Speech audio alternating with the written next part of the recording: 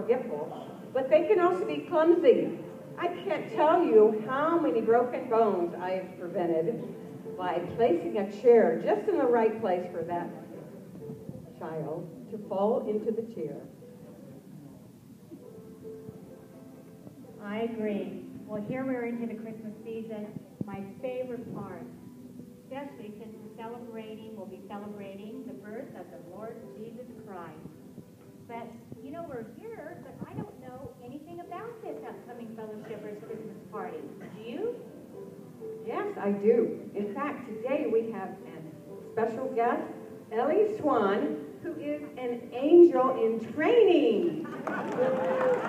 She doesn't have her wings yet, but I have a feeling that after this event she will. So